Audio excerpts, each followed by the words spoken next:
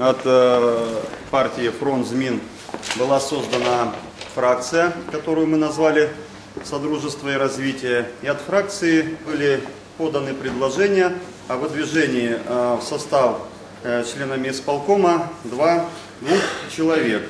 Ржавского Владимира Ивановича, председателя правления Донецкой областной общественной организации «Ридна Краина» и придатка Александра Владимировича, директора предприятия «Бонтон».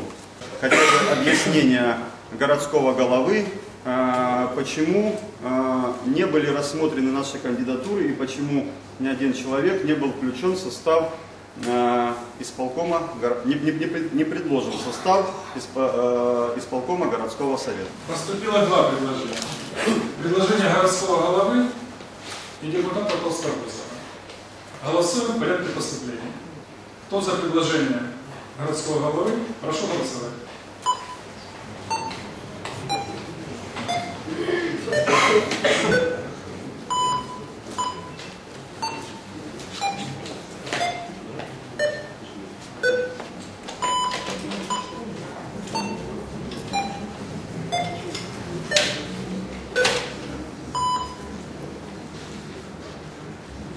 Решение принято.